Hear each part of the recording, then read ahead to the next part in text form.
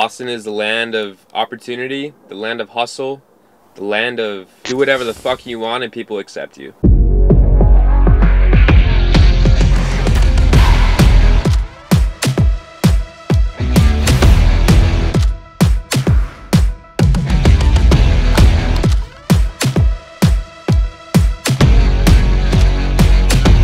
I was like, what's the hardest shit I could do?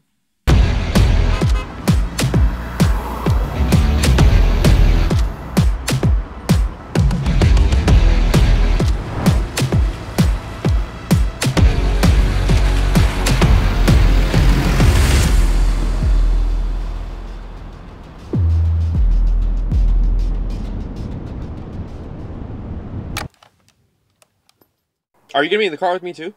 No, I'm doing it right Oh, okay. No, no, oh, is it rolling right now? Yeah, it's rolling. Oh, yeah, shit. Yeah. Uh, it's literally chill. Like it's it's just you know these are just genuine questions that I you know hopefully give you a chance Yeah. to talk about it. Like what's been on your mind? You just got back from a crazy trip. You know? Yeah. Yeah, so it's kind of been a whirlwind of emotions per se Yeah. for the past three months. Damn, it's April, actually, four months. But so much has happened, so, I mean, I feel like I need a backstory to tell you the present story. Sure. You know, even past these couple months. So, in the military for four years. Remember the camera's not here. In the, so I was in the military for four years, and I mean, for the past two of that contract, I wanted to get out. I wanted to get out. Sorry about that. I'm gonna just No, you're good. this really quick. I wanted to get out so bad, right? Because I just knew that like, I could do greater, I could be more, and the time finally came. I did get out, um, and I went and I traveled Europe for three months, backpacked, just lived out of two little backpacks, two little Gymshark backpacks, and uh, went to ten countries. And even during that, like so many things changed. I actually had a girlfriend during that time when I lived in Virginia, and we broke up during my Europe trip and that like changed everything too because i was like i had this whole life that i thought i was going to do be with this girl travel in europe um, i thought i was going to go to college.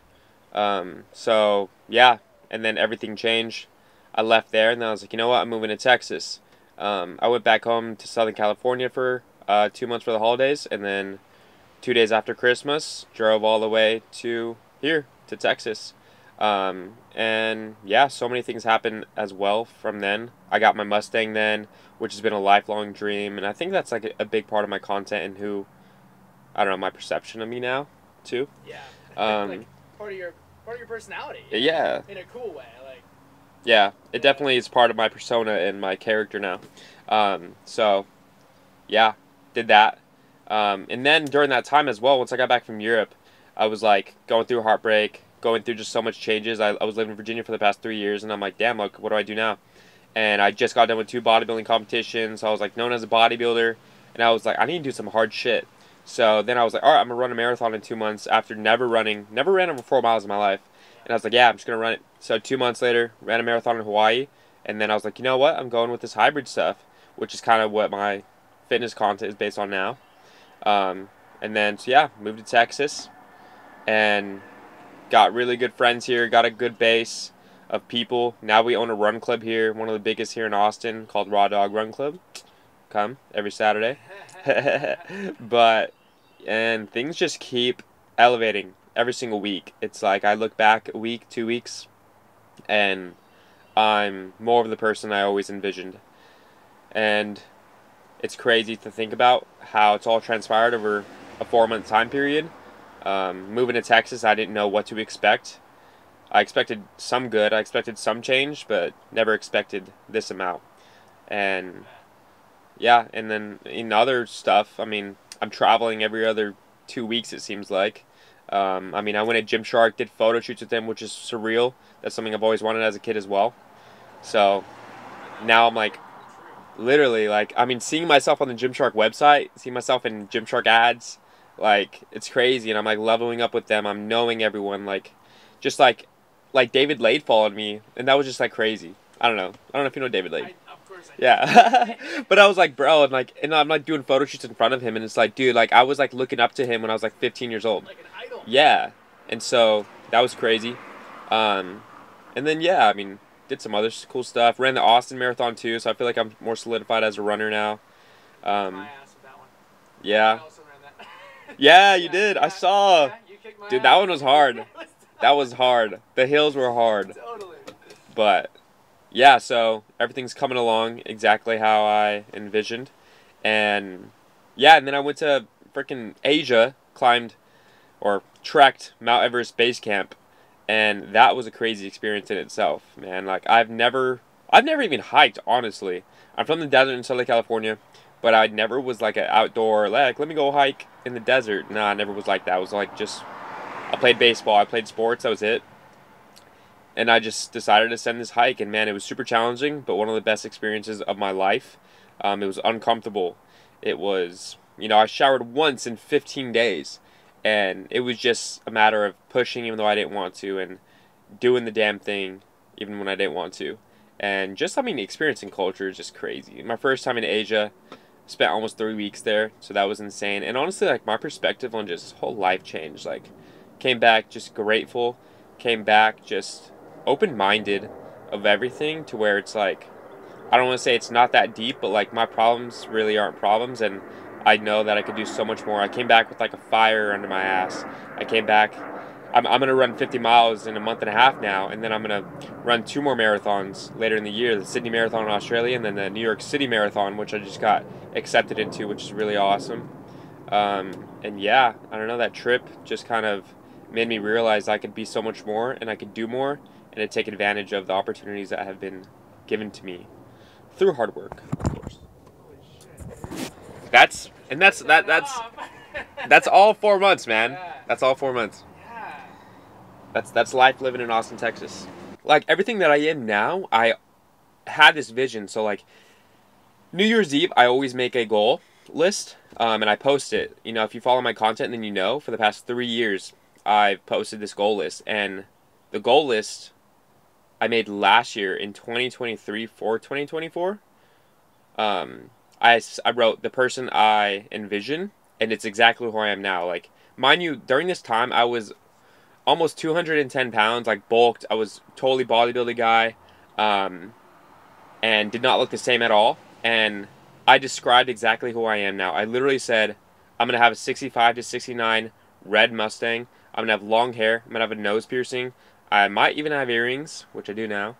Um, and then I also said like I'm gonna have a 70s look. Um, and then I'm gonna get more tattoos, and I'm gonna be this like runner, very active guy um, that everyone is known for and respects. And so, like, a lot of people be like, oh, I could never in a million years dream it, but I feel like I always knew what I was capable of.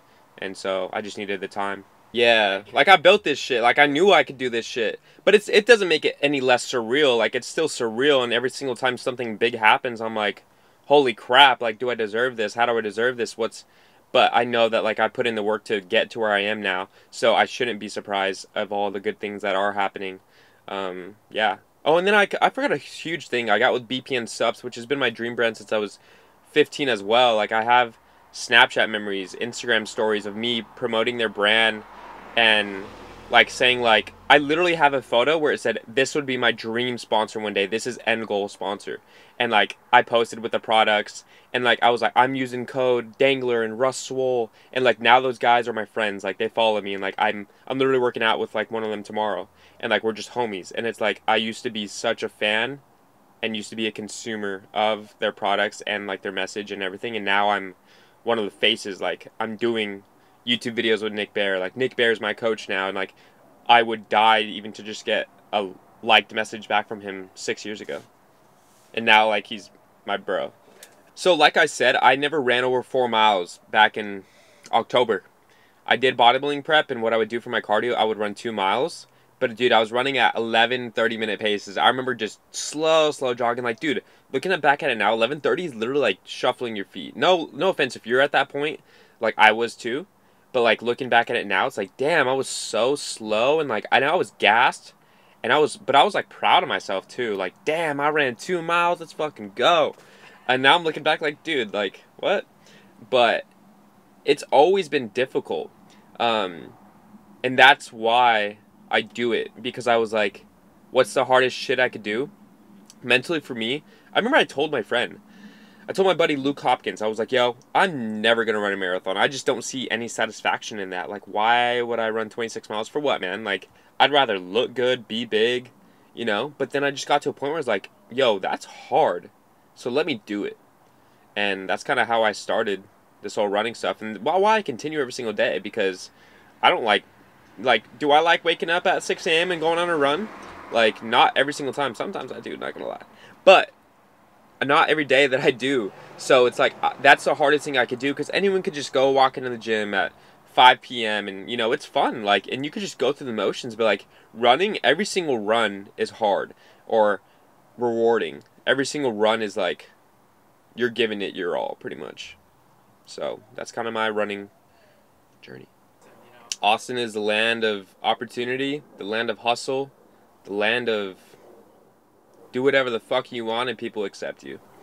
Man, um, it's just like I can wear whatever, I could be whoever, and I feel so embraced. Like I remember moving and I was kind of scared like people were gonna be like, ah, he moved from California, he's one of those dudes, or you know, just another influencer moving to Austin, Texas. It's a new California, stuff like that. But everyone, I, I don't think I've gotten any hate at all. If anything, people like, dude, you're making Austin, you're like elevating it, and that's all I want to hear. Um, but Austin is just amazing. It has everything for me. I mean, I grew up in California, so I had the beach, you know, an hour and a half away. I had the mountains near me. I had everything possible, and I feel like Austin has exactly everything I want.